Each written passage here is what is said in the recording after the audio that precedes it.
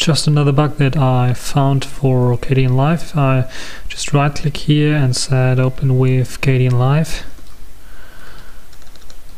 Normally it should give me an error because it's not a project file of Kdenlive, as you can see here. But now Kdenlive is not loaded and if I just drag in something like this to my project, you can see Kdenlive will crash.